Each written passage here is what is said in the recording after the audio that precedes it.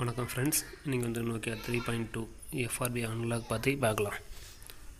யூஎம்டியில் கூல் கம் ஓப்பன் பண்ணிவிடுங்க இதில் மாடல் செலக்ட் பண்ணிவிடுங்க மாடல் செலக்ட் பண்ணிவிட்டு ஈடிஎல் பாயிண்ட் ஈடிஎல் பாயிண்ட் வந்து செக் பண்ணுறதுக்கு கீழே வந்து இமேஜ் போடுறோம் பாருங்கள்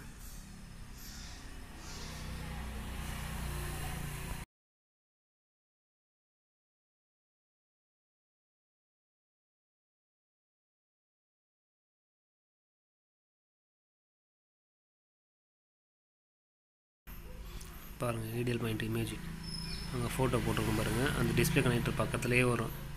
ஒன்று வந்து பிளாக் கலரில் வந்து வெளியே ஐக்கன் தெரியாமல் இருக்கும். அதை கொஞ்சம் கரெக்டாக பார்த்து பண்ணுங்கள் அந்த ஃபோட்டோவுக்கும் நான் இப்போ அடுத்த வீடியோ ஒன்று போட்டுறோம் பாருங்கள் அந்த கீழேயே.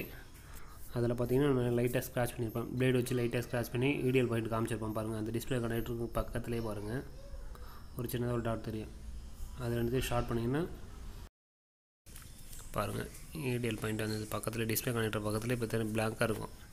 அது ஸ்க்ராச் பண்ண பிளேட் வச்சு ஸ்க்ராச் பண்ணிங்கன்னா அதுவும் அது பக்கத்தில் இருக்க பாயிண்ட்டாக அடுத்த வீடியோவில் காட்டுறோம் பாருங்கள்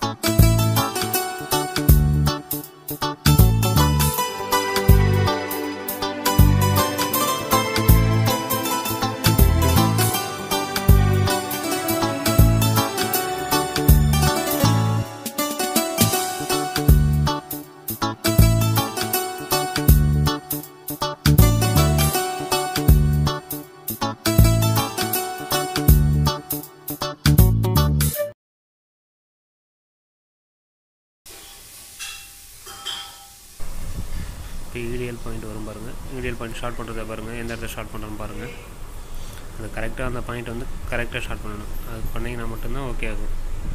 இல்லை கனெக்ட் ஆகாது பார்த்துங்க. இப்போ பாருங்கள் டைரெக்டாக கனெக்ட் பண்ணும்போது கனெக்ட் ஆகும் பாருங்கள் பாருங்கள் கனெக்ட் ஆகும்.